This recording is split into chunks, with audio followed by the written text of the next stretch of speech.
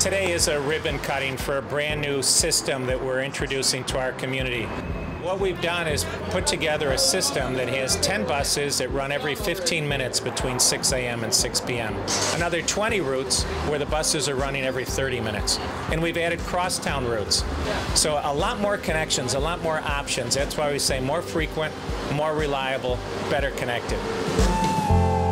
It's much easier to get around and much easier to know the bus times. Behind me is one of our on-demand vehicles. It's a micro transit is what we call it in the industry.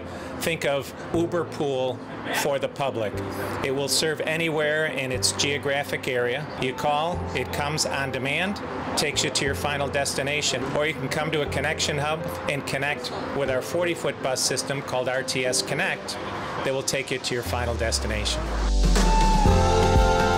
Before everything was changed, it was way too complicated for me. The new bus schedule, though, you guys made it pretty simple. Everybody needs to get somewhere, you know?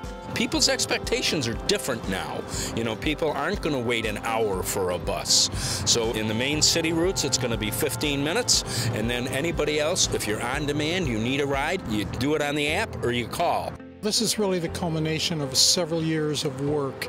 Over the last 30 or 40 years, employment centers have changed, commercial centers have changed, educational centers have changed, and we needed to really update the system so that we could service those areas.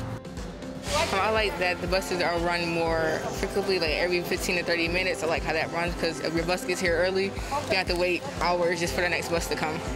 We continue to cap the fare at $3 all day, no matter how you use us.